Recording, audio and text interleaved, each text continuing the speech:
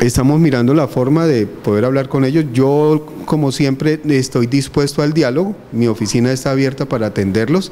No acepto las, las medidas de hecho por, por parte de los estudiantes y espero que los docentes y los directivos docentes no estén detrás de las manifestaciones de los estudiantes. ¿Y ese PAE cómo va?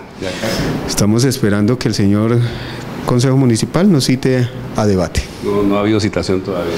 Todavía no tengo sobre mi escritorio ningún tipo de citación.